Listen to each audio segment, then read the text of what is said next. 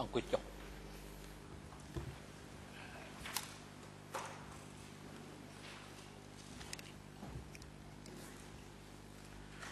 អង្គជំរះប្រកាសបន្តកិច្ចដំណើរការនីតិវិធីសមនការហើយមុនផ្ដល់វេទិកាជូនទៅមេធាវីការពីក្តីលោកនួនជាសួរនេះដល់ចំពោះសាក់សីលោកសាក់សីយើងជាប្រធានអង្គជំរះមានបំណងសួរបញ្ជាក់លោកបន្តិចបន្តួច ពាក់ព័ន្ធនឹងសក្ខីកម្មរបស់លោកដែលលោកបានផ្ដល់រយៈពេលពីពីពីម្សិលមិញរហូតដល់ព្រឹកមិញនេះសំណួរទី1ពេលដែលលោកបានផ្លាស់ទៅឈរជើងនៅខេត្តក្រចេះនៅឯក្រចេះហ្នឹងសំណួរសួរថាតើកន្លែងដែលលោករស់ទៅឈរជើងនៅក្នុងចន្លោះពីឆ្នាំ1977រហូតដល់ឆ្នាំ1978ហ្នឹង វានៅក្នុងតំបន់អ្វីឈ្មោះអីកន្លែងហ្នឹងឬក៏នៅភូមិភាគណាដែរបើតាមលោកចាំ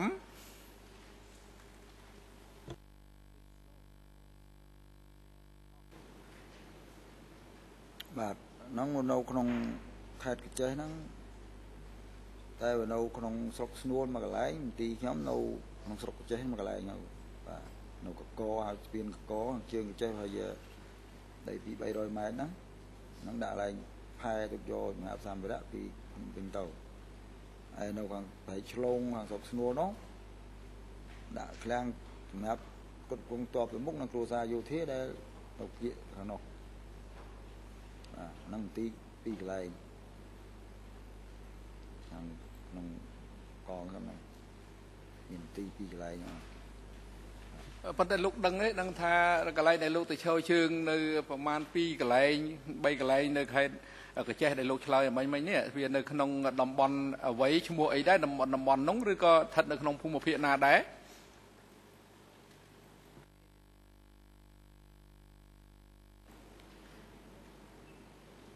បាទឥឡូវនេះដល់ហ្នឹងនៅក្នុងខេត្តចេះតំបន់505ហ្នឹងបាទហើយនឹង តំបន់505ហ្នឹងក្រោយពីពួកខ្ញុំទៅនេះគឺកាត់ចូលជាតំបន់ស្វាយយ៉ាត់បានន័យថាតំបន់ដែលអត់ចំណុះឲ្យភូមិភាគភាសាទៀតទេហ្នឹងនៅក្នុងមជ្ឈមគ្រប់គ្រងបាទដូច្នេះនៅក្នុងហ្នឹងគឺកងពលខ្ញុំអត់មានចូលភូមិភាគ5ហើយភូមិភាគឦសានទេគឺនៅក្នុងមជ្ឈមគ្រប់គ្រងផ្ទាល់សម្ភារៈអីឡើងមកយកភ្នំពេញផ្ទាល់អត់មានពាក់ព័ន្ធអីជាមួយភូមិភាគទេ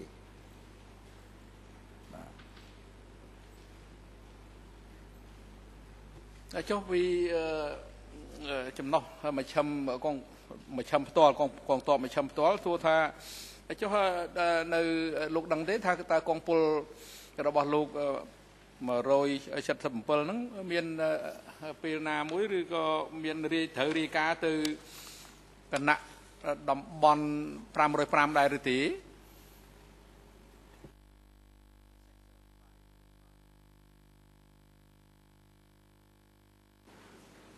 បាទ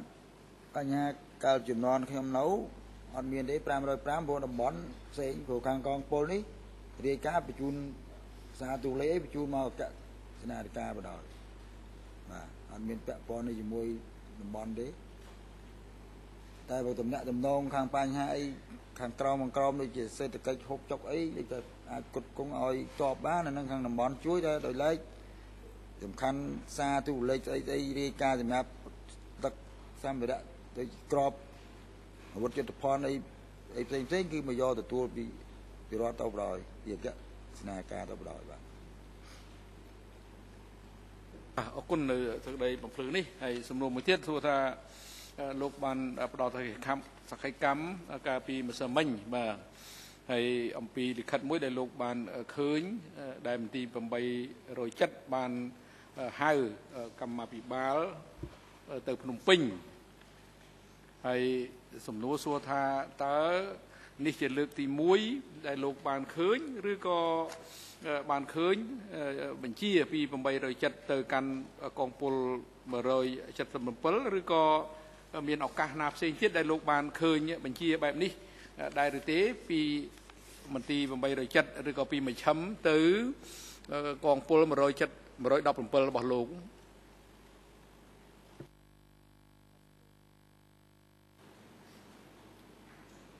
បាទពីម្សិលមិញខ្ញុំបានបកស្រាយបញ្ហាសម្បត្តិដែលមក870ជូនហើយតែដោយឡែកចង់និយាយថាកន្លងទៅมันមានសម្បត្តិដែលយកតាមរយៈអឺជាជានីសាយកទៅឲ្យទេកន្លងទៅច្រើនបញ្ជូនសារតាមទូលេខដល់ដល់ដែលសម្បត្តិមួយហ្នឹងខ្ញុំទៅឃើញនឹងនឹងមួយហ្នឹងដោយសារអីដោយសារសភាពការ យួតបុកខ្លាំងវាច្បោកច្បល់អាចយកសម្បត្តិហ្នឹងមកមកដោយផ្ទាល់ហ្នឹងគឺចង់និយាយថាភាសាទូលេខច្រើនតែបន្លំកន្លងទៅសារបក3 4ជាន់អីនៅតែគេចាប់បាននៅតែគេនៅតែហាវហ្នឹងខផ្លោងជាន់ខ្លួនឯងគ្នាឯងហ្នឹងចង់និយាយជំរាបលោកព្រាញ្ញាឲ្យបានដឹងថារឿងសារទូលេខនេះជួនកាលបក4ជាន់ឬ3ជាន់ចំនួននោះប្រើដៃផងនៅតែនៅតែគេចាប់បានអក្សរដែលយើងធ្វើវាខុសគ្នាយ៉ាងយោធាពីមុនសម្ងាត់ហើយនៅតែបែកការទេថា គេថាដល់យកមកផ្ទាល់ចេះបានដឹងថាពិតតែបណ្ណសាហ្នឹងមិនដឹងជាយកមកតាមរយៈយន្តមុនឬក៏ជើងមុនយើងក្រោយគឺខ្ញុំឃើញបានឃើញសបុតទាំងតែមួយហ្នឹងទេ តែពីមុនមុនមកតាមរយៈសារទូលេខបញ្ជូនតាមរយៈក្នុងទីខ្ញុំឬក៏502គាត់អីមកអញ្ចឹងគាត់ទៅប្រជុំធម្មតាដោយថាទៅតាមកប៉ាល់រក្សាបរិយអីចឹងទៅមកវិញគាត់តាមការហោះហើរអីអាហ្នឹងជាធម្មតានេះខ្ញុំសូមលើកជូន លោកព្រាញ្ញាប៉ុណ្ណឹងបាទបាទអរគុណហើយតាមបទពិសោធន៍របស់លោកដែលលោកបានធ្វើការងារក្នុងឋានៈជាអនុប្រធានមន្ត្រីកងពល117តើលោកបានដឹងដែរទេថាហេតុអ្វីបានជាមន្ទីរ807ហ្នឹងបានចេញបញ្ជាដោយផ្ទាល់ទៅកងពល117ហើយដោយមិន ធ្វើតាមមេបញ្ជាការមិនមិនធ្វើតាមរយៈ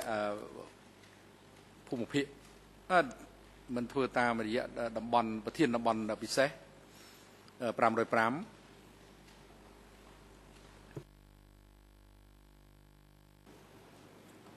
បញ្ហាហ្នឹងដូចខ្ញុំបានជម្រាបលោកខាងដើមហើយចង់ថាតំបន់ហើយនឹងកងពលអត់ចំណុះគ្នាទេដូច្នេះខ្សែកន្លងទៅ ច្រើនសារតាមរយៈសារទូលេខតែដល់ពេលនេះឃើញសម្បត្តិមួយហ្នឹងគឺវាថាសភាពការច្បងច្បល់ដូចថាខ្លាចសារទូលេខចាប់ប្រព័ន្ធតាក់តងបានអញ្ចឹងទៅអាហ្នឹងអាហ្នឹងការការស្មានរបស់ខ្ញុំទេប៉ុន្តែឃើញដល់ឃើញយកទៅហ្នឹងគណៈយកសម្បត្តិទៅហ្នឹងក៏មិនមែននៅក្នុងពួកពលានយន្តហោះដែរគឺឈ្មោះធីហ្នឹងសារទូលេខអមុតនេះអឈ្មោះកុងក៏អ្នកបញ្ជូនសារធីអ្នកបកពីរអ្នកនឹងបកទៅបកមកឬពីរអ្នកក្នុងហ្នឹង ដល់អញ្ចឹងទៅឃើញសបុតហ្នឹងយកមកឲ្យផ្ទាល់មកដល់ហើយគាត់ឡានហ្នឹងទៅជើងទៅទៅ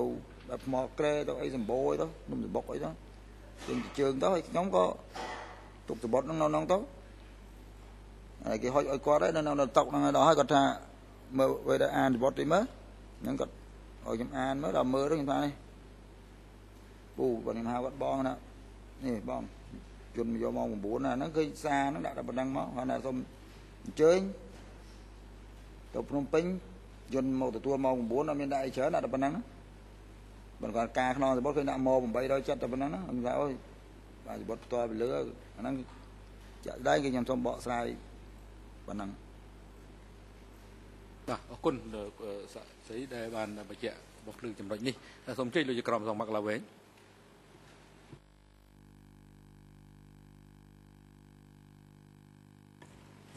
Oui, merci. សូ មអរគុណលោកប្រធាន លោកសាស្ត្រីខ្ញុំមានសំណួរមួយចំនួនតូចដើម្បីសួរលោកលោកថាពេលដែលលោកនៅក្រចេះកងពល117រាយការណ៍ផ្ទាល់ទៅអគ្គសេនាធិការដូច្នេះតើធ្លាប់មានការទំនាក់ទំនងគ្នារវាងកងពល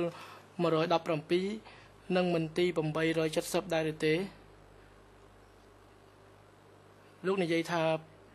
មានការរាយការណ៍ទៅអគ្គសេនាធិការអញ្ចឹងខ្ញុំចង់ដឹងថាតើមានរាយការណ៍ទៅមន្ទីរម807ទេបាទបញ្ហាហ្នឹងខ្ញុំសូមជម្រាបថាខាងខ្ញុំមិនដែលហ៊ានរាយការណ៍រំលងទេអត់ហ៊ានរំលងទៅ807ទេនេះនេះដែលតាមរាយការណ៍ជាប្រចាំថ្ងៃគឺអត់ហ៊ានរាយការណ៍រំលងទៅ807ទេព្រោះសារនេះបញ្ជូនបានទៅអគ្គសេនាធិការឬ មក502នៅខាងខាងខាងគៀអាកាសនេះគាត់ជួយចម្លងឲ្យប៉ុណ្ណឹងបាននេះតាមសាររាយការណ៍ប្រចាំថ្ងៃតែមក870มันអាចហ៊ានឆ្លងបាននេះលុះត្រាពីគាត់វាយសារផ្ទាល់មកដោយសភាពការអីចឹងក៏គាត់ថាដាក់តែសភាពការយួនបុកហើយដាក់តែប៉ុណ្្នឹងឯងមកហ្នឹងខាងក្រមធ្វើតាមតែប៉ុណ្្នឹងមកត្រៀមតបតែប៉ុណ្្នឹងទេតែរឿងអីផ្សេងអត់មានទេបាទ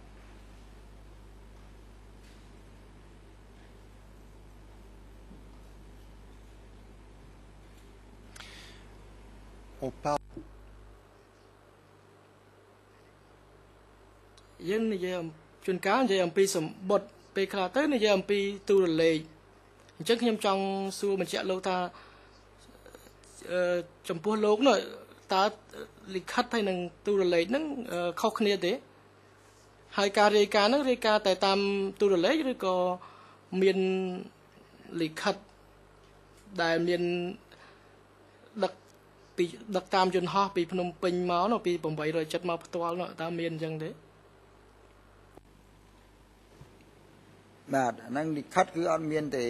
បើនិយាយខ្ញុំធ្លាប់ដែលរស់នៅកន្លងទៅភាគច្រើនគឺมันអាចមានលិខិតពីគាត់មកទេมันអាចបានបញ្ជូនមកដល់ខាងពួកខាងខ្ញុំខាងក្រមនេះទេគឺចង់និយាយថាភាគច្រើនខាងខ្ញុំពីមុនច្រើនប្រើសារសារហ្នឹងគឺបញ្ជាក់ពីគ្នាទៅវិញទៅមកឧទាហរណ៍ការណែនាំពី502ថាឥឡូវអឺ ឲ្យជួយអន្តរាគមន៍អីចឹងមកអាហ្នឹងបញ្ជូនសារទូលេខបញ្ជូនគ្នាទៅវិញទៅមកតែលិខិតវាដល់លិខិតផ្ទាល់វាអត់មានទេអញ្ចឹងដូចបានខ្ញុំបានបញ្ជាក់លិខិតនេះលិខិតមួយនេះមួយច្បាប់ដែលឃើញថាម៉870ហ្នឹងខាងខ្ញុំខាងគាត់ហ្នឹងក៏មិនទុកចិត្តថាម៉870ហាវដែរព្រោះថាកន្លងទៅមិនដែលមានសម្បត្តិទេមានតែតាមរយៈសារទូលេខតែដោយឡែកសភាពការតនហុននេះសភាពការអាច78នេះបុកខ្លាំងនេះបានចង់និយាយថាឃើញសម្បត្តិមួយហ្នឹងក៏ បងបងមួយចំនួនគាត់ភ្ញាក់ផ្អើលណាតែកន្លងទៅច្រើនតែតាមរយៈសារទូលេខទាំងអស់ភាគច្រើនគឺគាត់មិនដែលបាននិយាយរួមផ្ទាល់តាមផ្ទាល់ជាលិខិតលាយលក្ខជាអសររបស់ខាងលើអីអត់អត់បានដែលមានទេហើយខ្ញុំឃើញចំណាមួយដែរសារទូលេខឲ្យខ្ញុំមើលកាលលើកណាលើកទី1លើកខ្ញុំមកលើកទី1នោះឃើញចំណាហ្នឹងអាហ្នឹងចំណាហ្នឹងគឺអសរអ៊ំចត់ចាគ្រាន់ថាយួនបុកអីហ្នឹងអាហ្នឹងឃើញគាត់ដាក់ហ្នឹងដាក់តែប៉ុណ្្នឹងឯង អាហ្នឹងចំណាមានអាហ្នឹងចំណាហ្នឹងគាត់ចំណាក្រុមសារទូលេខទៀតសារទូលេខបញ្ជូនសារឲ្យក្បាលសារប្រហែលអញ្ចឹងអាហ្នឹងដឹងបាទខ្ញុំសូមបញ្ជាក់ប៉ុណ្ណឹងសូមអរគុណ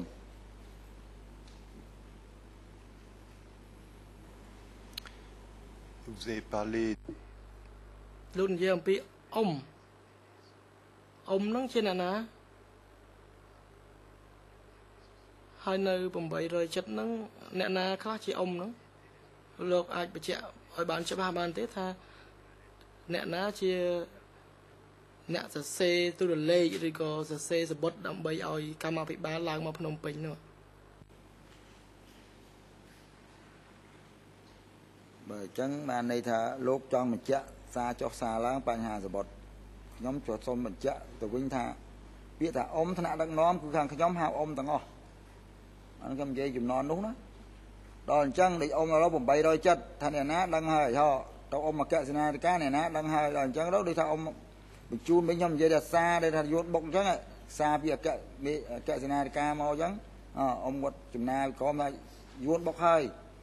គាត់នឹងបញ្ជាក់តាមសារហ្នឹងមកសារហ្នឹងបញ្ជាក់មកតាមកងពលទៀតមកអញ្ចឹងមកអាហ្នឹងចង់និយាយហ្នឹងអ៊ំដូចអាហ្នឹងខ្ញុំសូមបញ្ជាក់ជូនលោកឲ្យច្បាស់កន្លែងហ្នឹងបន្តិច បានន័យថា870ឲ្យតែថ្នាក់ដឹកនាំឲ្យតែនិយាយថ្នាក់ដឹកនាំគឺដឹងថាមន្ទីរ870ថ្នាក់ដឹកនាំដល់អញ្ចឹងត្រូវហៅអ៊ំទាំងអស់អអគ្គសេនាធិការក៏អ៊ំទាំងអស់អគ្គសេនាធិការរងក៏អ៊ំក៏អ៊ំភាគច្រើនខាងខ្ញុំពីមុនច្រើនហៅអញ្ចឹង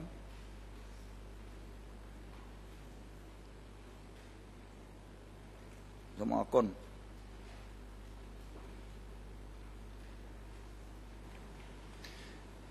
est-ce que តើលោកបែងចែកដាច់ពីគ្នាទេរវាងអគ្គសេនាធិការនិងមន្ទីរម870នោះហើយតើកងពលអឺសំទោសមន្ទីរ870ហើយនឹងអគ្គសេនាធិការហ្នឹងអត់មានតំណែងតំណងគ្នាទេគឺសុនសេនហើយនឹងមន្ទីរ870ហ្នឹង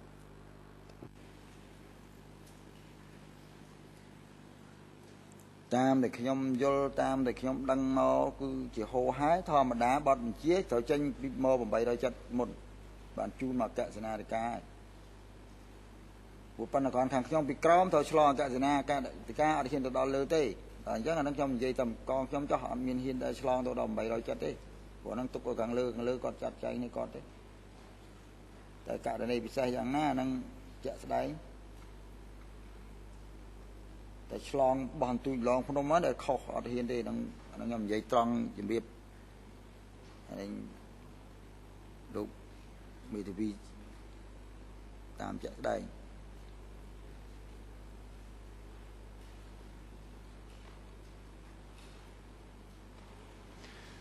Est-ce que vous តើលោកដឹងថាមានការតាក់ទងគ្នារវាងមាសមុតនិងសុនសេនទេ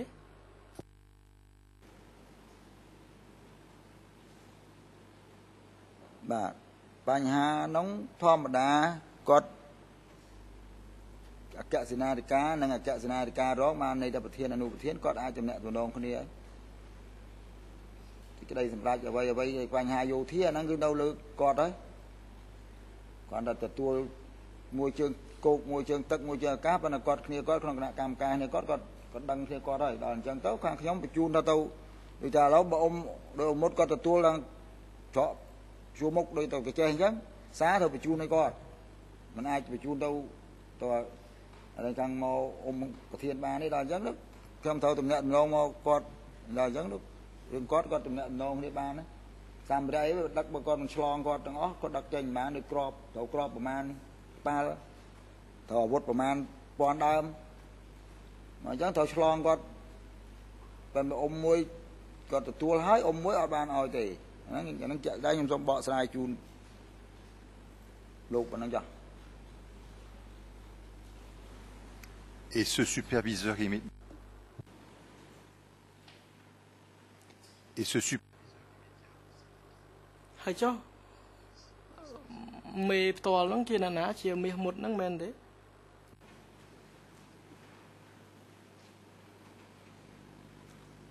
ទេដល់លោកសួរខ្ញុំថាជាមេផ្ទាល់យ៉ាងម៉េចបើខ្ញុំនៅ117ដល់អ៊ំគាត់នៅអគ្គសេនាធិការដល់ថាអញ្ចឹងទៅខ្ញុំលំបាកឆ្លើយដែរណាពួកគាត់អគ្គសេនាធិការកន្លងទៅកម្ពុជាបតៃមានអ៊ំសុនសេនអគ្គសេនាធិការហោមានមាសមុតអគ្គសេនាធិការរងហោមកស៊ូមេតជាអាកាស អគ្គសេនាធិការរងទៀតដល់អញ្ចឹងទាំង3នេះបើតាមខ្ញុំកងពលដែលខ្ញុំត្រូវឆ្លងឆ្លងដូចថាខ្ញុំបញ្ជូនសារទៅខាងអ៊ំខៀវគាត់មិនអ៊ំសុនសេនគាត់មិនមិនមិនមិនទទួលបញ្ជូនមកមាសមុតក៏បានបញ្ជូនមកស៊ូសមេតនេះក៏បានអាហ្នឹងខាងខ្ញុំបតនដែលត្រូវការក្របឬត្រូវការដឹករបួសយន្តហោះអីចឹងការហោះហើរត្រូវឆ្លងតាមអគ្គសេនាធិការហ្នឹងហើយទៅ800ចិត្តគាត់មិនដឹងអានេះខ្ញុំនិយាយពីបញ្ហាយោធាទេ តែបើលោកសួរខ្ញុំវិលទៅវិលមកសួរតដែលចឹងខ្ញុំឆ្ងល់ដែរសូមអរគុណ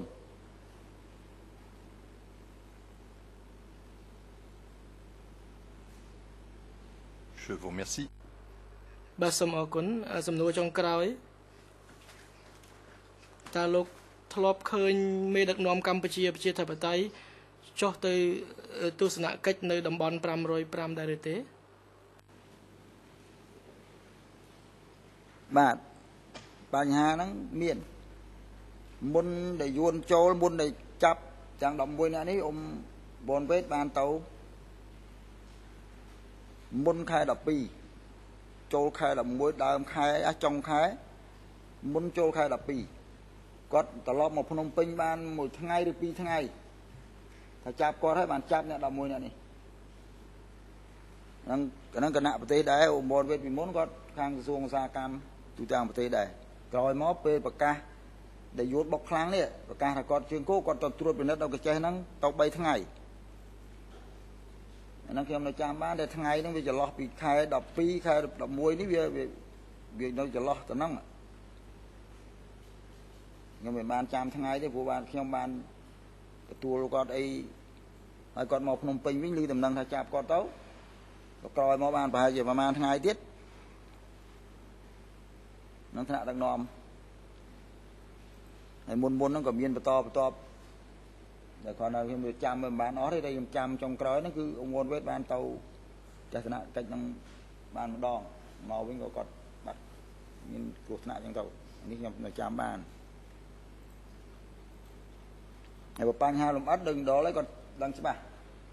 លំដងក៏គណៈតំបន់គាត់រៀបចំអារេកម្មវិធីទទួលអីហ្នឹងកាលនោះអឺ គាត់ទៅ3ថ្ងៃទៅសម្រាប់ហ្នឹងហើយទៅទស្សនកិច្ចនៅប្រែកទេហ្នឹងកាលនោះយួនគាត់មកដល់ប្រែកទេហើយមកដល់ត្រូវកើតហើយទៅទៅហ្នឹងអាហ្នឹងខ្ញុំនៅចាំបានតែទៅថ្ងៃហ្នឹងក៏អត់បត់បានវាយគ្នាទៀតដល់ហើយគាត់ទៅត្រឡប់មកវិញមកដល់ភ្នំពេញវិញហ្នឹងក៏ឮថាចាប់គាត់ទៅហើយបានបន្តបន្ទាប់នេះតាមរយៈ ហ្នឹងអាហ្នឹងខ្ញុំនៅចាំបានប៉ុណ្ណឹងបាទសូមជម្រាបប៉ុណ្ណឹងឯងសូមអរគុណ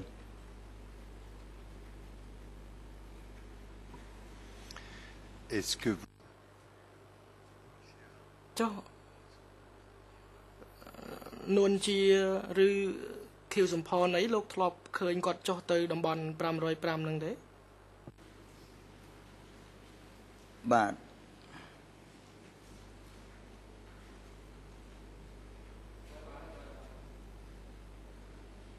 ចុះកណ្ហោ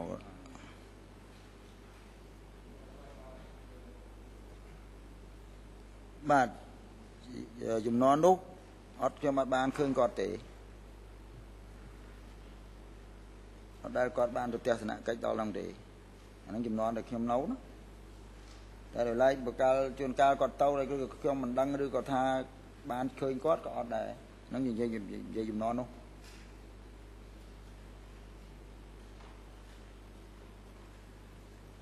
je, je vous remercie. ហើយសូមអរគុណដែលលោកបានឆ្លើយទៅនឹងសំណួររបស់ខ្ញុំ Voilà, merci monsieur. បាទសូមអរគុណលោកសាក់សីលោកប្រធានខ្ញុំអស់សំណួរហើយបាទអរគុណហើយមុននឹងផ្ដល់វិទ្យាជូនទៅក្រុមមេធាវីការពារក្តីនួនជាបន្តសួរឯដល់សាស្ត្រីរូបនេះអង្គជំរះអឺ ស្ដាប់នៅអឺមតិយោបល់របស់ភាគីពាក់ព័ន្ធជាមួយនឹងសំណើសុំរបស់លោកអឺមេធាវីការពារក្តីលោកនួនជាអឺដែលដែលគាត់បានផ្ញើមកអង្គជំរះតាមរយៈអ៊ីមែលកាលពីថ្ងៃត្រង់នេះសូមការអនុញ្ញាតពីអង្គជំរះថាឲ្យក្រុមរបស់ខ្លួននឹងអាចតាំងសំណួរនេះដល់ចំពោះអ្នកជំនាញហង្រីលោកកាតនៅថ្ងៃទីថ្ងៃច័ន្ទទី1ខែសីហាឆ្នាំ2016ហើយ សូមផ្ដល់វិធានជូនទៅសាប្រញ្ញាតំណាងសាប្រញ្ញាតើមានមតិយោបល់អ្វីដែរទេក៏សំណើនេះ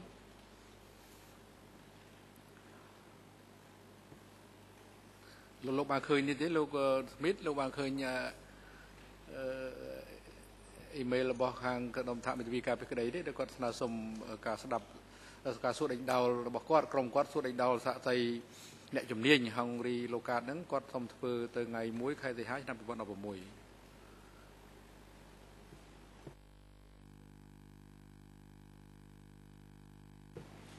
សប្រិញ្ញារងមកជំរាបសួរលោកប្រធានយើងខ្ញុំបានឃើញអ៊ីមែលនេះហើយតាមការប៉ាន់ប្រមាណរបស់ខ្ញុំមេធាវីការពារក្តីនួនជាអាចនឹងចាប់សួរនៅអឺរ៉ូស៊ីលថ្ងៃសុក្រហើយសាសេរូបនេះអាចបញ្ចប់នៅថ្ងៃស្អែកនៅពេលជប់សម្រាប់បាយថ្ងៃត្រង់ហើយតាមរយៈអង្គជំនុំសារដំបូងគឺថា នៅឆ្នាំបន្ថែមទៅលើឆ្នាំ2013ពីឆ្នាំ2014យើងខ្ញុំមិនជំទាស់នោះទេហើយយើងខ្ញុំអឺអាចធ្វើតាមបំណងរបស់មេធាវីការពារក្តីចាប់ផ្ដើមសាកសួរនៅថ្ងៃច័ន្ទបើសិនណាជាសាកសួរនេះអាចនឹងបន្តសួរទៅដល់ថ្ងៃពេញ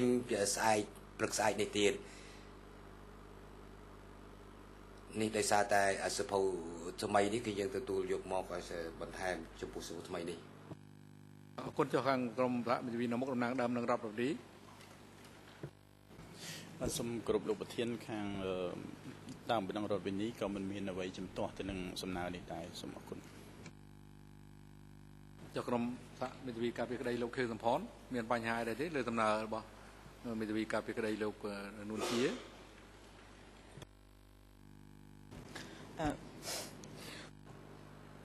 បាទលោកប្រធានខ្ញុំគិតថាយើងអត់មានបញ្ហាអីទេយើងគ្រប់គ្រងសំណើរបស់មេធាវីនួនជាហើយការពីម្សិលមិញយើងបានស្នើសុំដែរថាមានឯកសារ250ទំព័រជាងដែលត្រូវបានស្នើសុំឲ្យដាក់ទៅក្នុងសំណុំរឿងហើយខ្ញុំបានសុំឲ្យឲ្យព្រះញ្ញានឹងបញ្ជាក់ឲ្យបានច្បាស់ថាតើគាត់ចង់ប្រើប្រាស់ កន្លែងណាខ្លះនៅក្នុងឯកសារទាំង200ទំព័រជាងហ្នឹងដើម្បីឲ្យយើងបានដឹងច្បាស់អញ្ចឹងហើយបានជាឲ្យមានបញ្ជាក់ឲ្យបានច្បាស់ទៅព្រោះថាបើតាមសេចក្តីសម្រេចរបស់អង្គជំនះពាក់ព័ន្ធទៅនឹងឯកសារអឺ406/1អង្គជំនុំជម្រះបានបញ្ជាក់នៅក្នុងកថាខណ្ឌ13រួចហើយថាភាគីត្រូវស្នើសុំឃ្លាប្រយោគពាក់ព័ន្ធនៃសភៅណាមួយ ហើយត្រូវសុំឲ្យមានការបកប្រែផងដែរ អញ្ចឹងនៅចន្លោះថ្ងៃនេះដល់ថ្ងៃស្អែកហ្នឹងខ្ញុំគិតថាមានបញ្ហាពាក់ព័ន្ធនឹងការបកប្រែហើយបកប្រែមិនទាន់ទេឯកសារហ្នឹងវាមានច្រើនហើយបើយើងចង់យកសភៅហ្នឹងមកសួរនាំអ្នកជំនាញនោះយើងត្រូវតែមានការអឺត្រូវតែមានច្បាប់ឯកសារហ្នឹងមួយច្បាប់ដែរសម្រាប់អ្នកបកប្រែដើម្បីពួកគាត់អាចមើលបានពីព្រោះថាមិនទាន់មានការបកប្រែពេញលេញនៅឡើយទេអញ្ចឹងការលើកទៅសួរ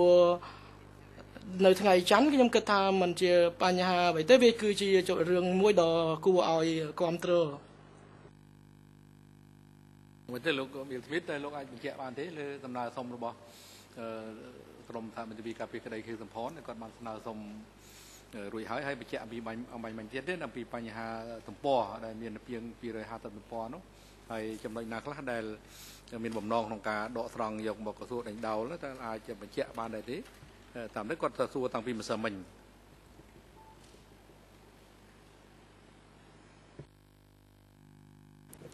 Uh, Your Honour, those សប្រិញ្ញារងសារដែលត្រូវយកមកប្រើប្រាស់កំពុងតែពិនិត្យនៅឡើយទេហើយបើអាចធ្វើឲ្យរស់រន់ទៅបានយើងខ្ញុំអាចបញ្ជូនសារទៅឲ្យមេធាវីការពារក្តីយើងខ្ញុំយល់ឃើញថាខាងសហប្រញ្ញានិងមេធាវីការពារក្តីមានចំហដូចគ្នាទេពាក់ព័ន្ធទៅនឹងសភៅថ្មីថ្មីនេះ ជាពិសេសពាក់ព័ន្ធទៅនឹងសភៅដែលត្រូវបានធ្វើការកែប្រែខ្ញុំយល់ឃើញថានេះអាស្រ័យទៅលើក្រមមេធាវីការពារក្តីទេយើងខ្ញុំកំពុងតែពិនិត្យមើលទៅលើការការការកែប្រែទៅលើសភៅនេះនៅឡើយខ្ញុំមិនអាចធ្វើបច្ចុប្បន្នភាពជូនមេធាវីការពារក្តីនេះបានប៉ុន្តែនៅពេលឈប់សម្រាប់រសៀលសូមខ្ញុំផ្ដល់ព័ត៌មានបច្ចុប្បន្នភាពជូនទៅគាត់បាន Yes, yes, Mr. President, if I may respond. Um, មេធាវីគូពេលោកប្រធានខ្ញុំសូមឆ្លើយតបផងដែរយើងខ្ញុំមិនមានជំហរដូចគ្នានោះទេដោយសារខាងសហប្រញ្ញាណាគឺថាស្នើសុំឲ្យទទួលយកអឺសភៅដែលមានចំនួន250ទំព័រនេះចំពោះយើងខ្ញុំគឺវាអាស្រ័យទៅលើខ្លឹមសាររបស់វាក្នុងចំណោមទាំង100 ហើយបន្ថែមទាំងបន្ថែមទាំងពីរជាង100ជាងទំព័រទៀតឥឡូវនេះយើងកំពុងតែប្រជុំមុខទៅនឹងសភៅមួយដែលអ្នកជំនាញសរសេរអឺដោយអ្នកជំនាញចំនួន367ទំព័រជាភាសាបារាំងហើយយើងកំពុងពិគ្រោះជាមួយនឹងបុគ្គលិករបស់យើងដែលគាត់ចេះភាសាបារាំង ដូច្នេះយើងខ្ញុំមិនមានជំហរដូចតែការលើកឡើងនេះទេអញ្ចឹងអ្វីដែលសហប្រញ្ញាលើកឡើងថាស្ថិតនៅក្នុងចំហដូចគ្នាមិនត្រឹមត្រូវទៀតទេមិនត្រឹមត្រូវទេយើងខ្ញុំប៉ាន់ប្រមាណថាយើងខ្ញុំប្រហែលជាអាចបញ្ចប់ការសាកសួរជាមួយសាកសីរូបនេះនៅថ្ងៃនេះតែម្ដងខ្ញុំយើងខ្ញុំយល់ឃើញថាយើងខ្ញុំនឹងមិនបន្តសួររហូតទៅដល់ពេលបាយថ្ងៃត្រង់ស្អែកនោះទេ ចៅក្រុម fan តើលោកជំទាស់ទៅនឹងការលើកឡើងរបស់សហប្រញ្ញាដែលសួររហូតដល់ថ្ងៃសុកដែរឬក៏អត់ទេមិនបញ្ហាទេយើងខ្ញុំមិនជំទាស់ទេ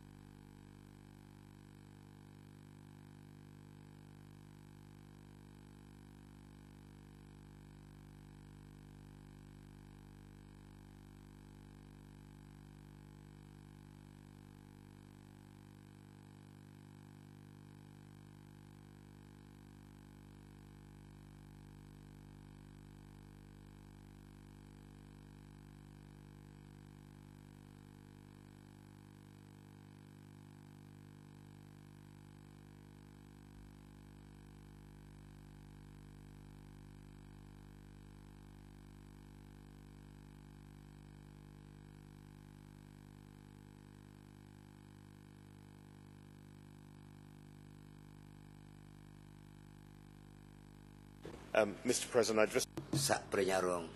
លោកប្រធាននាយកខ្ញុំទៅតែទទួលព័ត៌មានថ្មីពាក់ព័ន្ធទៅនឹងការពិនិត្យមើលទៅលើសិភៅនេះដោយសារតែវាមានផ្នែកច្រើនណាស់នៅក្នុងសិភៅនេះដែលពាក់ព័ន្ធទៅនឹងសំណុំរឿងយើងនេះអឺប្រហែលជាយើងខ្ញុំមិនអាចលើកឡើងអំពីផ្នែកណាមួយដែលវាមិនសំខាន់យកមកជម្រាបជូនទាំងអស់នោះទេអឺ ផ្នែកជាច្រើននៃសិភៅស្ទើរតែទាំងអស់នេះត្រូវបានយកមកប្រើប្រាស់ហើយចៅក្រមហ្វែនតើអាចបានប្រមាណពេលវេលាថានឹងត្រូវសួរតែមួយថ្ងៃទេសម្រាប់សហមេទវិនមមុខនឹងសហប្រញ្ញា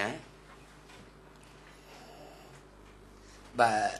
ទវាអាស្រ័យទៅលើ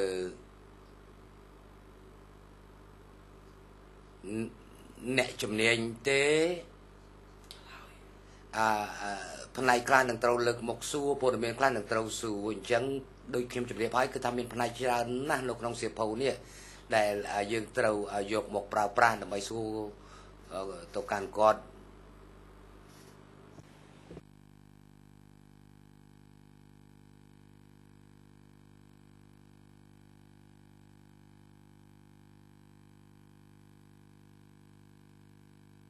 សូមអញ្ជើញលោកស្រីអងតាគីសេ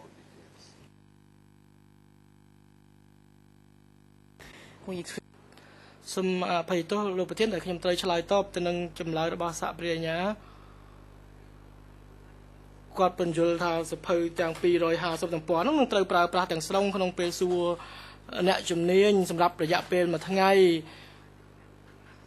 ជាមួយនឹងដើមដឹងរដ្ឋប្រវេណីទោះបីជា សភៅហ្នឹងមានកែប្រែនៅឆ្នាំ2016ក៏ដោយក៏ប៉ុន្តែសភៅហ្នឹងមានសំណៅមួយទៀតនៅឆ្នាំ2013ក៏ប៉ុន្តែសហប្រញ្ញាទៅតែសុំប្រហែលថ្ងៃនឹងមុនទេហើយមេធាវីការពារក្តីធ្វើសំណើដែរអញ្ចឹងត្រូវតែមានការប្រព្រឹត្តឲ្យបានត្រឹមត្រូវចំពោះសហប្រញ្ញាដែលមិនគ្រប់ទៅតាមការបង្គាប់របស់អង្គជំនុំជម្រះក្នុងការសុំឲ្យផ្ដល់ឲ្យអិនឲ្យបានច្បាស់លាស់នៅអ្វីដែលខ្លួនចង់យកមកសួរនោះ គាត់មិនអាចមកឆ្លើយថាសួរស្ទើរតែទាំងអស់អញ្ចឹងទេតែគាត់ទៅតែផ្ដល់នៅកន្លែងណាប្រយោគណាផ្នែកណាมันអាចយកមកថា250ទំព័រទាំងអស់មកនិយាយចឹងទេភាគីទាំងអស់ត្រូវតែគោរពទៅតាមការបង្គាប់របស់អង្គជំនុំជម្រះនៅក្នុងការផ្ដល់នៅ EN ជាក់លាក់នៅចំណុចឬក៏ផ្នែកណាជាក់លាក់ដែលខ្លួនចង់ប្រើប្រាស់ដើម្បីសួរអ្នកជំនាញនោះมันអាចមកនិយាយច្បាស់ច្បាស់សរុបទាំងអស់អញ្ចឹងទេ Can I ask the prosecutor a question? ចៅក្រម fan ខ្ញុំសូមសួរទៅសហប្រញ្ញាអឧបមាថាអង្គជំនុំជម្រះសម្រេចរួចទៅហើយទៅចុះថាតើសហប្រេងអញ្ញាអាចព្យាយាមបញ្ជាក់ផ្នែកណាពាក់ព័ន្ធឬក៏សរសេរអឺបញ្ជាក់ជូននៅផ្នែកណាដែលពាក់ព័ន្ធបានទេ សហប្រញ្ញារងលោកស្រីចៅក្រមតាមដែលព័ត៌មានដែលខ្ញុំបានទទួលមកថាសហប្រញ្ញាដែលត្រូវសួរទៅអ្នកជំនាញនេះគឺថាមិនខ្ញុំមិនសម្ដៅទៅលើតែផ្នែកជាក់លាក់គឺពាក់ព័ន្ធទៅនឹងចម្ពោះឬក៏សារកន្លែងណាមួយដែលវាសំខាន់សំខាន់នោះអឺសហប្រញ្ញាដែលត្រូវសាកសួរនេះគឺថាបានជម្រាបមកខ្ញុំថា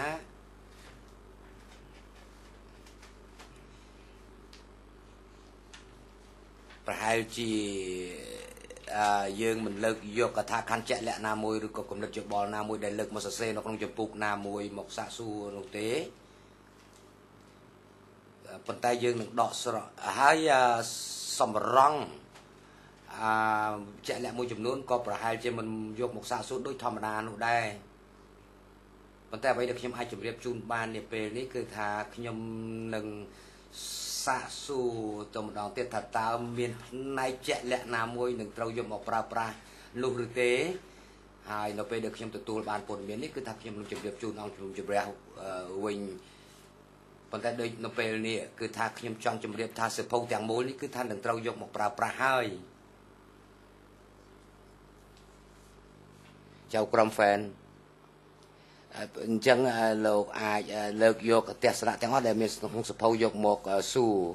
ប៉ុន្តែខ្ញុំចង់សួរផែនការដែលត្រូវសាកសួរនេះលោកបានគិតទៅយើង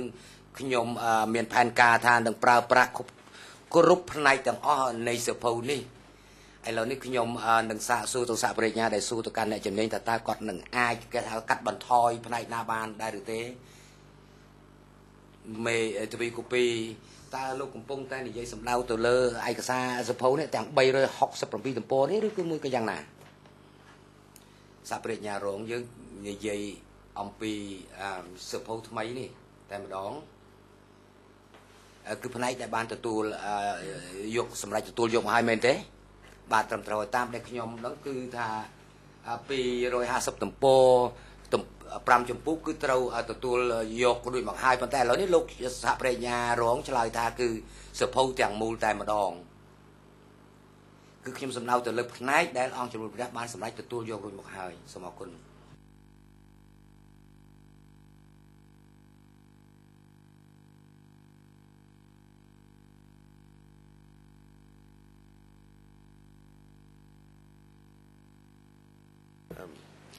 Your Honours, um, សាប្រញ្ញារងផ្នែកដែលត្រូវសួរនេះគឺថាអាចនឹងយកមកជម្រាបជូនបាន តែទោះជាយ៉ាងណាក៏ដោយគឺថាសប្រញ្ញាដែលគាត់ត្រូវតាំងសំណួរគាត់ថាគាត់ចង់សួរសភៅទាំងមូលនេះតែម្ដងអឺប្រហែលជានៅចុងបញ្ចប់នៃថ្ងៃនេះយើងខ្ញុំនឹងអញ្ជើញសហបរិញ្ញាខ្ញុំនឹងតំណាក់តំណងរបស់គាត់ឲ្យគាត់ជម្រាបជូនមកអង្គជាមួយជំរះ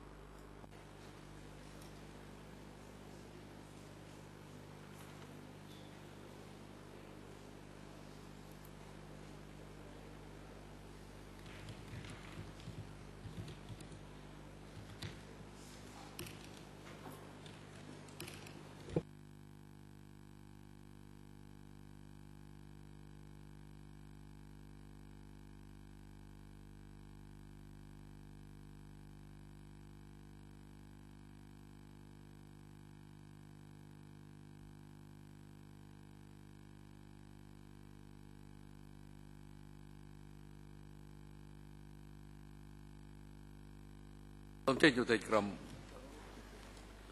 ខ្លួនទេវិនដើម្បីបញ្ជាក់បញ្ហានេះឲ្យច្បាស់លាស់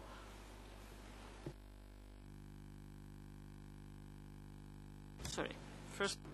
ចុកក្រុម fans ទី1អង្គជំនុំជម្រះគឺថាសម្រាប់ទទួលយកសំណើសុំទាំងពីររបស់សហមេធាវីក៏ដូចជាអឺសហមេធាវីការក្តីគិវសំផនដែរ ស្អែកនេះគឺថានឹងមានការតាំងសំណួរពីសំណាក់អង្គជំនុំជម្រះយើងសង្ឃឹមថាសហបរិញ្ញាក៏ដូចជាសហមេធាវីនាំមុខចាប់ផ្ដើមស៊ូនៅថ្ងៃសុក្រហើយក្រោយពេលបញ្ចប់រួចហើយគឺថា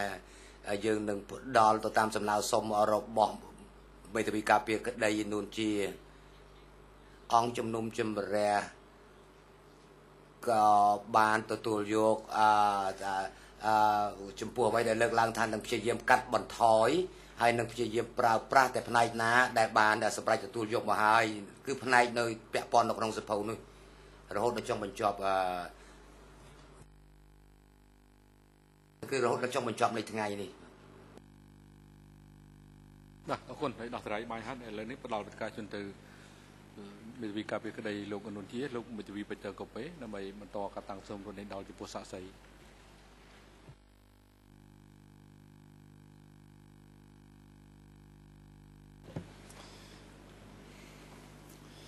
Yes um good សូមជម្រាបសួរជាថ្មីលោកសាក់សីមុនពេលដែលយើងឈប់សម្រាកអាហារថ្ងៃត្រង់យើងបានពិភាក្សាគ្នាអំពីការវាយរបស់ការវិលុករបស់ទាហានវៀតណាម នៅខែមិនិនាឆ្នាំ77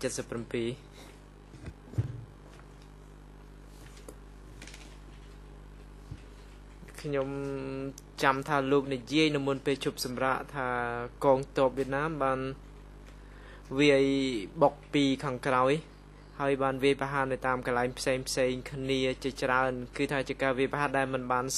ដែលมันអាចស្មានទុកមុនបាន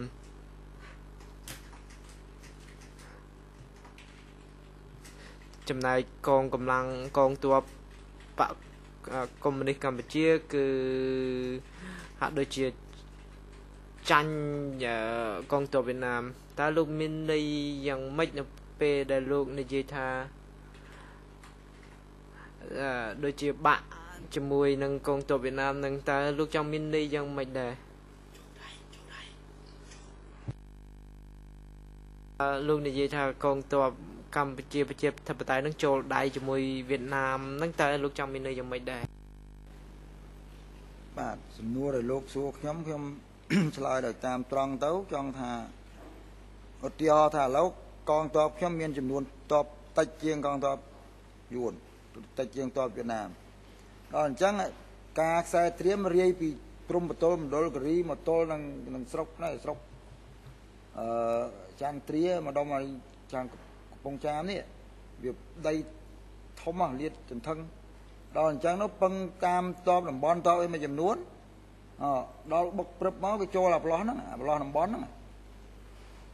ដល់អញ្ចឹងប្រើមកมันបាក់បាក់មកมันរត់បដ ாய் ខ្សែត្រៀមมันពួកខ្ញុំมันมันជាប់បាត់ហើយអាហ្នឹងខ្ញុំចង់និយាយអញ្ចឹងថាសំដៅហ្នឹងថាមិនមែនมันទុកចិត្តគ្នាទេតែដល់វាបុកធំមកបាក់ទៅប៉ះគ្រោះថ្នាក់តែគ្នាឯងអាហ្នឹងចង់អាហ្នឹងខ្ញុំសំដៅអញ្ចឹងហើយកម្លាំងគេក៏វាធំមែនតែมันទុកចិត្តគ្នាឯងมันយូរទៅអត់ទុកចិត្តមែនដល់ចិត្ត8គេមានទុកចិត្តគ្នាណាចិត្ត8ចាប់ដើម រករឿងគ្នាដោយសារអីដោយសារมันទុកចិត្តគ្នាបាយខាងមួយឈ្នះទៅអរខាងមួយចាញ់ទៀតចោតគ្នាទៅអាហ្នឹងខ្ញុំចង់និយាយអញ្ចឹងដល់យូរយូរគ្រោះថ្នាក់តបមានគ្រោះថ្នាក់នេះណាអស់មេអស់កូនទៀតអាហ្នឹងខ្ញុំចង់បញ្ជាក់ឲ្យឲ្យលោកបានយល់ថាតើហ្នឹងព្រោះសង្គ្រាមអបាយការនេះក៏គ្រោះថ្នាក់អាបាក់តបនេះក៏គ្រោះថ្នាក់បើសិនណាយកអត់បាក់ទេនៅអត់រត់ចោលថងសេរស់ លោកតាបាក់3 4ថងសេរត់ចោលថងសេហ្នឹងអាក្រោះដេញជន់គ្រោះថ្នាក់ទាំងអស់ហ្នឹងអត់មានរត់រួចទេខ្ញុំថា500ម៉ែត្រក៏នៅបាញ់ចំដែរអាហ្នឹងខ្ញុំចង់និយាយអញ្ចឹងហើយក៏មិនដឹងទុកចិត្តខាងណាបើខាងពឹងអរិញខាងនេះបាក់ខាងនេះបាក់ហើយយកទៅជួយមិនតបដីរាប់រកចិត្តប្រហែល50គីឡូអានេះខ្ញុំជម្រាបត្រង់ចុះអាដីដែលខ្ញុំទៅធ្លាប់ដឹងច្រកខ្ញុំអា សូមអរគុណ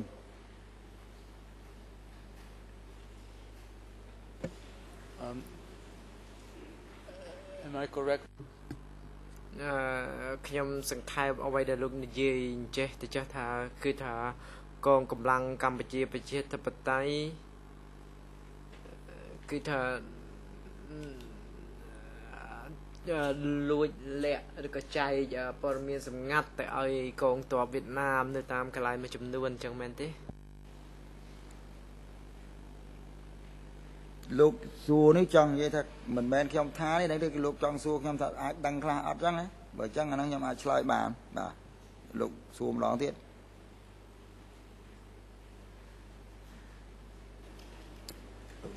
No I'm I'm I'm trying to to make sure I អឺ ក៏ប៉ុន្តែខ្ញុំគាត់តែចង់បញ្ជាក់ឲ្យច្បាស់ថាតើខ្ញុំយល់អ្វីដែលលោកនិយាយគឺថាខ្ញុំសន្និដ្ឋានត្រឹមត្រូវទេដែលថាលោកចង់និយាយថាមានការមានផុសតាងឬក៏ថាមានការបង្ហាញថាកងទ័ពកម្ពុជាប្រជាធិបតេយ្យលួចលាក់ផ្ដល់ព័ត៌មានឬក៏ផ្ដល់ព័ត៌មានសម្ងាត់ទៅឲ្យកងទ័ពវៀតណាមដំណើរសព្រិញ្ញាខ្ញុំសូមជំទាស់នេះមិនមែនជាអ្វីដែលសាក់សីនិយាយនោះទេ ហើយខ្ញុំក៏សូមឲ្យមេធាវីការពារក្តីខ្ញុំមិនដឹងថាតើគាត់មានបញ្ហានៅក្នុងខ្លឹមសារនៃការសួរឬក៏អត់នោះទេប៉ុន្តែគឺថាផ្អែកទៅលើព័ត៌មានអ្វីឬក៏ឯកសារអ្វីដែលគាត់អាចទាញយកឬក៏សន្និដ្ឋានបែបនេះដែលថាសាក់សីក៏និយាយបែបនេះចំណេះចង់ឲ្យមានឯកសារយោងឲ្យច្បាស់មេធាវីក៏ពីក្តីខ្ញុំឬសាក់សីនិយាយថាកងទ័ពកម្ពុជាប្រជាធិបតេយ្យចូលដៃជាមួយកងទ័ពវៀតណាម នៅពេលដែលវៀតណាមចូលមកដល់ក្នុងទឹកដីកម្ពុជាប្រជាធិបតេយ្យហើយថាក្រុមទាំងពីរហ្នឹងចូលជាមួយគ្នាឥឡូវនេះខ្ញុំសួរចំណុចអញ្ចេះវិញលោកប្រធានខ្ញុំចង់សួរថាតើកងទ័ពកម្ពុជា ប្រជាធិបតេយ្យទំលាយព័ត៌មានសម្ងាត់ទៅឲ្យកងទ័ពវៀតណាមដែរទេ បាទបញ្ហានេះដែលខ្ញុំក្តាប់មិនជុំទូទាំងអលែងប្រទេសទេក៏ប៉ុន្តែគ្រាន់តែច្រកខ្ញុំមួយចុះអានេះខ្ញុំនិយាយច្រកខ្ញុំមួយទេនៅថ្ងៃទីប្រហែលនៅក្នុងខែ11មិនដល់ខែ12ទេអាហ្នឹងនៅច្រកខ្ញុំមួយប្រហែលជា2 300នាក់ស្លាប់នៅក្នុងប្រែកទេហ្នឹងហ្មងកងទ័ពពងជប់លៀងរៀបទៅទៅវាយនេះអាហ្នឹងខ្ញុំនិយាយច្រកខ្ញុំមួយចុះតេអូនិយាយកោកោអញ្ចឹងគ្រាន់តែអ្នក មករត់មកប្រាប់ថាតេអូគេហៅក្រផ្លងហើយនេះយួនវានៅមុខហ្នឹងហើយដល់អញ្ចឹងមកមកជន់អារាជការបាយហ្នឹងពងហូបបាយហើយជ្រក់ស្ពៃអីឆាតិគោអញ្ចឹងអាហ្នឹងខ្ញុំចង់និយាយមិនមែនដល់ទីរួមនេះខ្ញុំនិយាយមកច្រកខ្ញុំចុះអស់មកវរសនាធំនឹងប្រហែលជា200នាក់គ្រាន់មកមកព្រឹងអានេះមិនមែនខ្ញុំនិយាយឆ្លងដល់មកប្រទេសទេអាហ្នឹងខ្ញុំដឹងគ្រាន់មកកវិចខ្ញុំតូចប៉ុណ្ណឹងគឺមានការការសង្ស័យនេះប៉ុណ្ណឹងអាហ្នឹងខ្ញុំចង់ជម្រាបលោក ដោយត្រង់ព្រោះកាលពីបកស្រាយខ្ញុំមិនបានបកស្រាយចំដល់ម្លឹងនេះតែអាហ្នឹងក្នុងហ្នឹងវាមានវាមានបញ្ហាហ្នឹងហើយដល់អញ្ចឹងងាប់ណាស្លាប់តបអាមេក្បត់បណ្ដោស្លាប់ស្លាប់តបស្លាប់គ្រោះថ្នាក់យុទ្ធជនណាអានេះខ្ញុំខ្ញុំចង់និយាយប្រៀបធៀបឲ្យចំនួននោះតេអូមានណាមានរចនាធំមានរចនាតូចក៏អង្គពលទេគឺអញ្ចឹងដល់ហើយក៏រត់ចូលយួនបានទៅនៅអាតបវាស្លាប់បាន អានេះខ្ញុំសូមជម្រាបបានប៉ុណ្ណឹងសិនចុះបើលោកចង់ស្ងល់អីទៀតខ្ញុំសួរបានឆ្លើយបានបញ្ហាហ្នឹងបាទសូមអរគុណ and, and which តើកងទ័ពមួយណា ដែលក្បត់ហើយរត់ចូលទៅវៀតណាមតើលោកអាចប្រាប់បានទេខ្ញុំចង់និយាយថា ដល់ខ្ញុំអាចជម្រាបបានយ៉ាងណាព្រោះថាកាលពីចំនួនខ្ញុំទៅពីលងវែកទៅគឺសិតតែអ្នកបងបងគាត់នៅក្នុងកំពង់ឆ្នាំងខ្ញុំមិនអាចស្គាល់គាត់បានទាំងស្រុងទេតែដោយឡែកចង់និយាយថាដល់កងខ្ញុំទៅនៅនោះក៏អ្នកកំពង់ឆ្នាំងដែរតែតែមិនដឹងជារត់បានចូលយួនរហូតដល់ឥឡូវបើអត់បានឃើញគាត់ទៀតអាចគាត់រត់ទៅស្លាប់តាមផ្លូវឬក៏យ៉ាងណាអូដូចអឿងហ្នឹងក៏រចនាធំនៅខាងទៅពីខ្ញុំទៅអឿងហ្នឹងពេលហៅគ្រាប់ផ្លូវហើយហ្នឹងក៏គាត់បាត់ខ្លួនទៅ ពេលរត់មកក៏មិនឃើញគាត់អាកងតបហ្នឹងក៏អត់ឃើញអឿងហ្នឹងគឺគាត់ចង់និយាយពីដើមគាត់នៅខាងស្រុកខ្ញុំខាងសែនោអាហ្នឹងខ្ញុំនិយាយពិសោធន៍អាហ្នឹងដឹងស្គាល់មុខមួយដល់អឿងហ្នឹងពេលដែលខ្ញុំរត់លាក់ទឹកទន្លេហើយនេះមកដល់ត្រូវលិចអត់ឃើញគាត់នីសាគាត់ទាំងអស់ក៏អត់ឃើញនឹងជាយួនបាញ់ស្លាប់ឬក៏យ៉ាងណាអាហ្នឹងខ្ញុំនិយាយចង់និយាយថាហ្នឹងតែខ្ញុំដឹងខាងច្រកខ្ញុំមួយទេខ្ញុំអត់និយាយខាងកងគេផ្សេងព្រោះខ្ញុំអត់ដឹងខ្ញុំដឹងតែកងចំពោះមកកវិចដីខ្ញុំប្រហែល 20 30គីឡូហ្នឹងខ្ញុំចង់ជម្រាបលោកដោយដោយត្រង់ចុះព្រោះតែបាត់ខ្លួនទាំងអស់រហូតដល់ពេលមកដល់ព្រំដែនក៏អត់ឃើញអអាជ័យយើងអានេះអាសន្តិភាពហើយនេះក៏មិនឃើញអញ្ចឹងមកនេះតែបាត់ខ្លួនចំនួនហ្នឹងអត់ដឹងមុខទេវិរៈសនាធំបាត់ខ្លួន2អនុសនាតូចប្រមាណទៀតណាក្របផ្លងនៅស្លាប់ថ្ងៃ200នាក់ជាងហ្នឹងអាហ្នឹងអាហ្នឹងផ្លងចំហ្មងអាហ្នឹង ជាប់ប្រែកស្ពានប្រែកទេហ្នឹងខាងជើងស្ពានប្រែកទេប្រហែលជាដី100ម៉ែត្រទេប៉ុន្តែថ្ងៃទីខ្ញុំមិនបានចាំទេក៏ចំនួនហ្នឹងបឋមអានេះរឿងតបស្លាប់ដឹកលួសដឹកអីមកមកមន្ទីរពេទ្យហ្នឹងខ្ញុំសុំសង្ខេបជូនលោកប៉ុណ្ណឹងចុះ Are you aware of តើលោកមានស្គាល់ សមាជិកកងពល117ណាដែលរត់ចូលទៅវៀតណាមក្នុងខែឧសភាឬក៏ខែមិនីឧសភាឬក៏មិថុនាឬក៏ខែ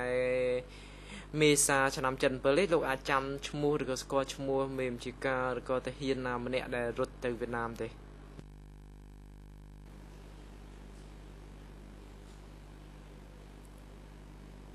លោកសួរខ្ញុំ ដល់សួរខ្ញុំអញ្ចឹងខ្ញុំអត់ដឹងព្រោះចំនួននោះពេលយួនបុកខ្លាំងអា77ហ្នឹងអត់មានចាប់អារម្មណ៍បញ្ហាអ្នកណារត់ចូលអ្នកណាព្រោះស្លាប់ស្លាប់ច្រើនទៅដល់ថ្នាក់មកប្រាវប្រហែលជាមិនតាន់3ខែអស់700ហើយដល់លោកឯងសួរខ្ញុំថារត់ចូលយួនមិនរត់ខ្ញុំអត់អត់បញ្ហាហ្នឹងខ្ញុំប្រាប់អត់បានទី1ព្រោះថាឥឡូវនៅគល់កស៊ូយួនវាដាក់មីនគល់កស៊ូខាងលិចយើងទៅលុតជង្គង់នៅគល់ខាងលិច3ថ្ងៃបាន3ថ្ងៃទៅ4ថ្ងៃបានយកសពបានដូច្នេះ ដល់អញ្ចឹងនោះគិតអុកលុកអារឿងតបអត់ស្បៀងអារឿងយកសពចេញអីអញ្ចឹងដល់រឿងរត់ចូលខ្ញុំអត់បានដឹងព្រោះក្នុងកងពលដែលខ្ញុំស្គាល់ទៅពីលងវែកទៅគឺដូចជំនីមអីក៏នៅអដូចបរមអីក៏នៅចឹងអាហ្នឹងខ្ញុំដូចលៀងអីក៏នៅចឹងអាហ្នឹងខ្ញុំដឹងហើយរចនាធំក៏មានស្លាប់ប៉ុណ្ណឹងឃើញចាក់ដែងតែដោយឡែកអាថារត់ចូលវៀតណាមហ្នឹងខ្ញុំខ្ញុំអត់អត់ក្រាបបានទេព្រោះខ្ញុំនៅអង្គរហ្នឹងខ្ញុំនៅខាងទូលេខនៅខាងទឹកស្បៀងអីនេះហ្នឹងខ្ញុំជម្រាប ជូនលោកដោយសង្ខេបប៉ុណ្ណឹង Ha- Have you តើលោកធ្លាប់ឮគេនិយាយក្រោយថ្ងៃក្រោយខែមករា79នេះថាមានកងទ័ពមកពីកងពល310ឬក៏កងទ័ពមកពីខាងបូព៌ារត់ចូលទៅវៀតណាម នៅក្នុងខែមិថុនាឆ្នាំ1977ទេ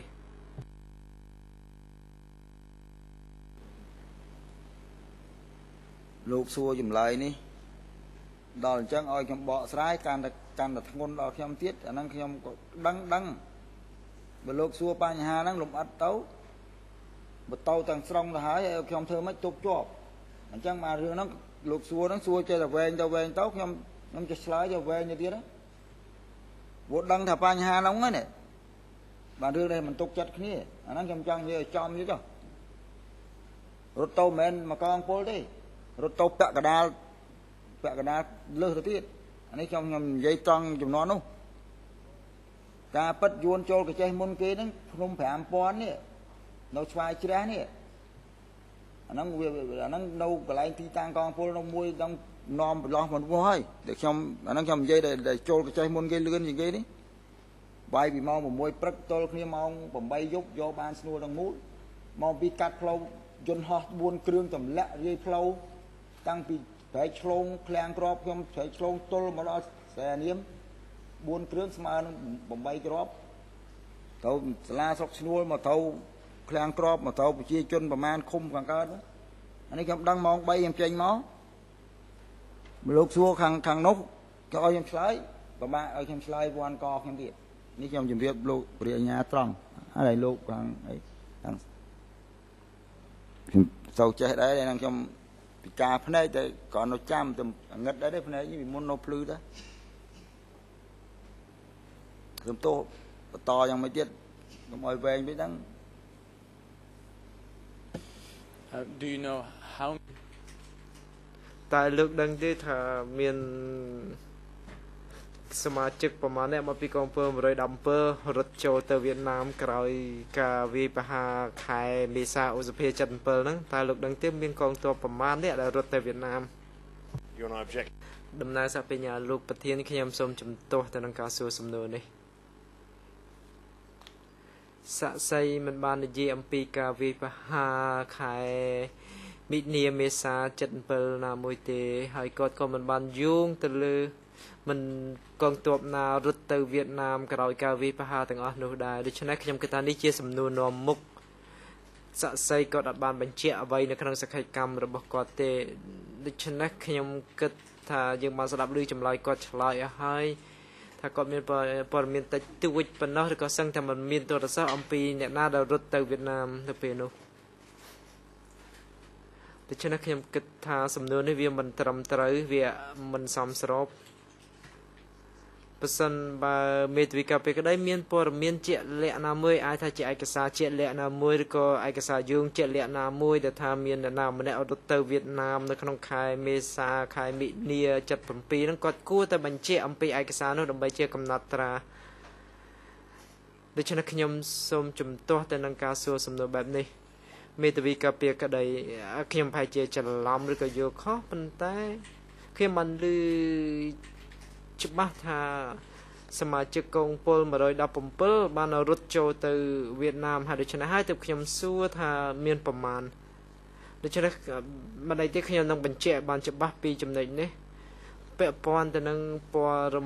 មានដែលថាមានកងទ័ពបដិវត្តកម្ពុជាណាមួយរត់ចូលទៅវៀតណាមខែមេសាឬក៏មីនា77គឺថាពាក្យច្រើនយើងដឹងថា កងទ័ពរបស់អឺនាយករដ្ឋមន្ត្រីបច្ចុប្បន្នគឺសម្ដេចហ៊ុនសែននឹងបានរត់ចូលទៅវៀតណាមយ៉ាងម៉េចទៅឥឡូវពីរអ្នកងើបឈរ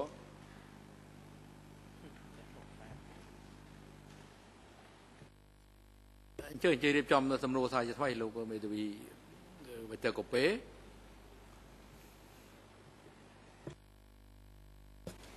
um, M- Mr. Whit លោកសាក់សីប្រហែលជាខ្ញុំស្ដាប់លោកច្រឡំឬក៏យ៉ាងម៉េច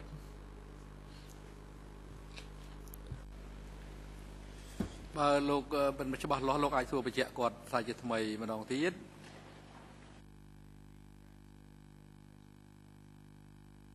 ចស្ទ as we open ចក្រមលោកមេធាវីអាចសួរសំណួរបើកតែម្ដងទៅ តំណាងសហដំមេធាវីក៏ពីក្តីអសំទោសអឧបករណ៍ស្ដាប់សំឡេងរបស់ខ្ញុំវាមិនលឺសំណួរខ្ញុំចង់សួរថាតើមានសមាជិកកងពល117ណាខ្លះដែលរត់ទៅវៀតណាមក្នុងខែមិនាមេសាចិនពើទេតើមានដែរឬទេបើសិនបើមានតើមានប្រមាណអ្នកដែរសូមលោកឆ្លើយ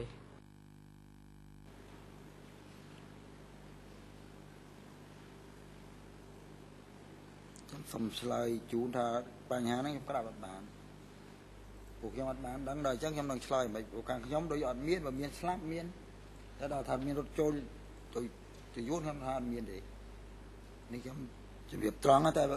កងតំបន់កងអីយ៉ាងណាហ្នឹងខ្ញុំក្តាប់មិនបានទេប៉ុន្តែចម្លើយឡែក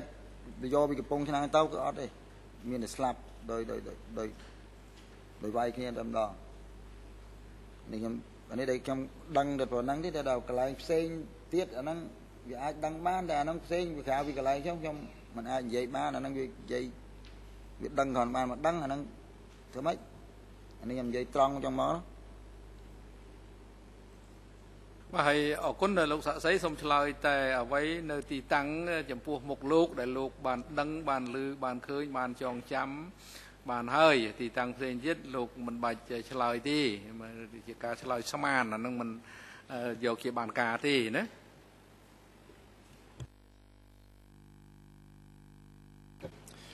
Um now អឺលោកសាក់សីយើងបាននិយាយអំពីការវាយប្រហារឬក៏ការលុកលុយរបស់វៀតណាម នៅក្នុងខែមិនិនាមេសា77 ជាពិសេសគឺការវាយប្រហារទៅលើចំការកស៊ូស្នួលហើយព្រឹកនេះព្រឹកមិញលោកក៏បានផ្ដល់ព័ត៌មាន អំពីការវាយលុករបស់កងទ័ពវៀតណាមនៅស្វាយរៀងហើយនឹងផ្នែកដតីទៀតដូច្នេះតើលោកធ្លាប់ឮដល់ឬទេថាមានការវាយប្រហារនៅចំការកស៊ូស្នួល គឺជាផ្នែកមួយនៃផែនការដែលមានការរៀបចំក្នុងការវាយប្រហារអាចថាជាការវាយប្រហារនៅចំការកស៊ូឬក៏ការវាយប្រហារនៅស្នួលគឺជាផ្នែកមួយនៃការវាយប្រហារជាច្រើនដែលធ្វើឡើងក្នុងពេលជាមួយគ្នាតើលោកធ្លាប់ឮអំពីការនិយាយអំពីផែនការនេះទេ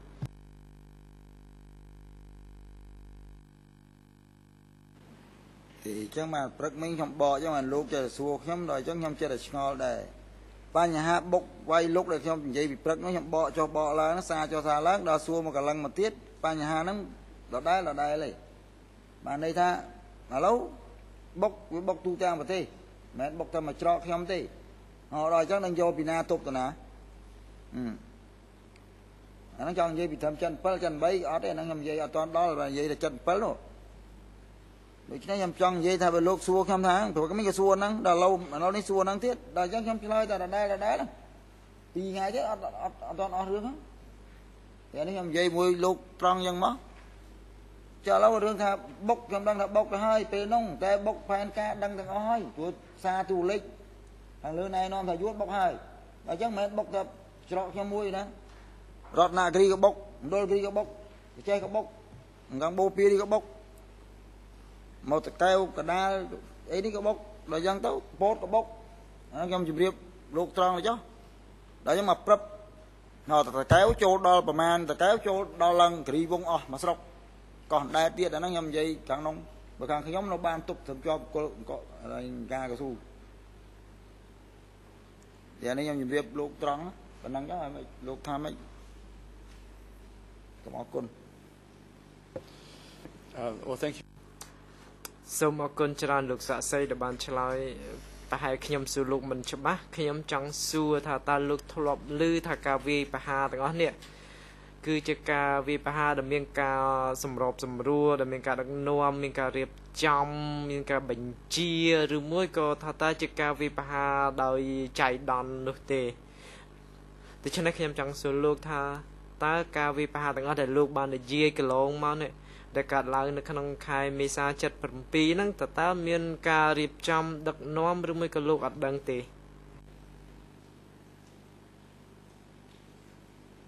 បញ្ហាលោកសួរខ្ញុំខាងក្រោមខ្ញុំចង់និយាយខាងលើឲ្យសារទូលេខមកគ្រាន់តែថាយួនបុកយើងហើយអាហ្នឹងអាហ្នឹងតាមសារណាដូច្នេះខ្ញុំចង់ឲ្យបកទៅវិញថាដឹងថាសភាពការយួនបុកហើយអដឹងតែប៉ុណ្្នឹងទេអាហ្នឹងខ្ញុំដល់អញ្ចឹងវាបុកទូទាំងប្រទេសមែន បាទហើយលោកសួរខ្ញុំថាមកទៀតបើថាដឹងរឿងត្រង់ទ្រាយដឹងតែត្រង់ទ្រាយបើ250,000នាក់មក78នេះអាហ្នឹងខ្ញុំនិយាយម្លងហួស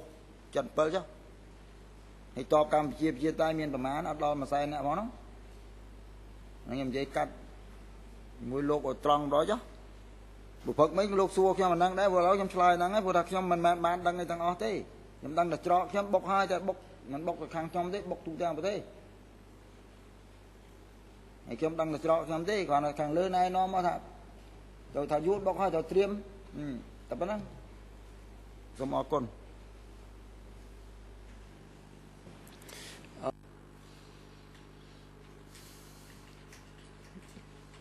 ខ្ញុំនឹងលើកនៅអ្វីដែលលោកបានផ្ដល់សកម្មកម្មកន្លងមកដែលលោកនិយាយអំពីកងទ័ពបដិវត្ត កងទ័ពកម្ពុជាប្រជាធិបតេយ្យមួយចំនួនដែលចូលដៃជាមួយកងទ័ពវៀតណាមតើលោកដឹងទេថាមានមានព័ត៌មានដែលថាកងទ័ពកម្ពុជាប្រជាធិបតេយ្យផ្ដល់ស្បៀងអាហារឬក៏អាវុធទៅដល់កងទ័ពវៀតណាមទេ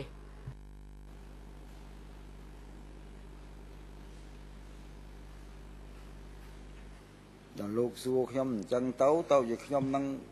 ដឹកនាំជាន់ខ្ពស់ទៅទៀតវាពិបាកខ្ញុំឆ្លើយបើខ្ញុំដឹងក៏ដឹងឆ្លើយថាម៉េចអានេះខ្ញុំឆ្លើយត្រង់ហ្មងលេចព្រោះឥឡូវ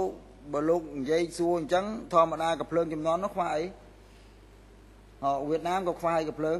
គេមកយកពីខាងយើងទៅអីសំខាន់បើគេបុកមកយើងអាហ្នឹងខ្ញុំលោកសួរខ្ញុំហ្នឹងចង់ឲ្យខ្ញុំឆ្លើយទៅបំបែទៅផ្សេងទៅទៀតហ្នឹង លោកសាស្ត្រីគឺគ្រាន់តែសួរថាតើលោកដឹងឬអត់បានហើយបើសិនបើលោកមិនដឹងទេឆ្លើយថាមិនដឹង ទៅចប់ហើយ ជាការឆ្លើយតបនឹងសំណួរហើយបើលោកដឹងអានឹងសំលោករៀបរាប់ជាបន្តទៀតនៃការដឹងរបស់លោក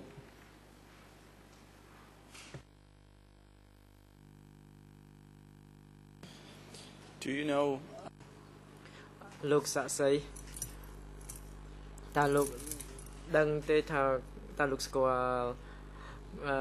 មេបជាការកងពល801ទេ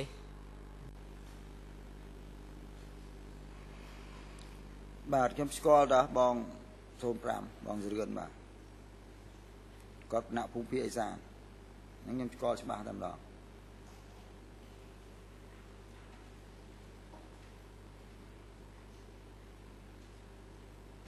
and and and how is it that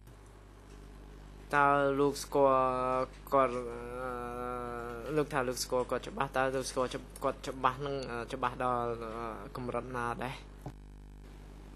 ខ្ញុំមិនមែនស្គាល់ច្បាស់ដល់កម្រិតរយៈស្និទ្ធស្នាលទេគ្រាន់តែស្គាល់ថាស្រុកកំណើតគាត់នៅស្រែក្នុងបាទហើយគាត់មកនៅទីនោះបាទអាហ្នឹងដឹងពុទ្ធស្រុកកំណើតចិត្តគ្នាដែរវាមិនឆ្ងាយទេ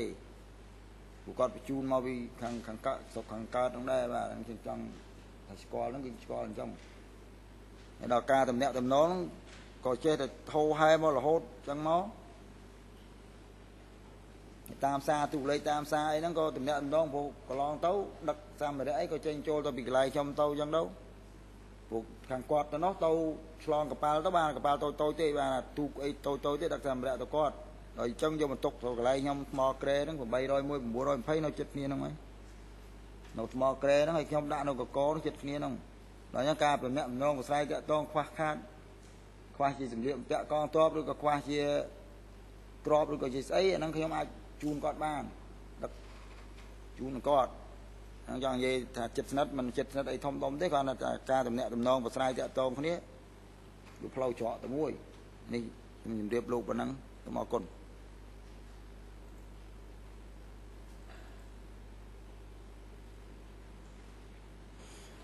um, the the Uh, commander of the មេបញ្ជាការ117គឺឈ្មោះរុំតើតើរុំមានឋានៈឬក៏មានឋានានុក្រមស្មើរឿនដែលយើងហៅថាបង05នឹងដែរទេបាទ ខ្ញុំចម្លើយនេះខ្ញុំក្តាប់បានហើយក៏ខ្ញុំរស់នៅជាមួយគាត់បើមិនអាចសិតស្មើនឹងពូ05ទេ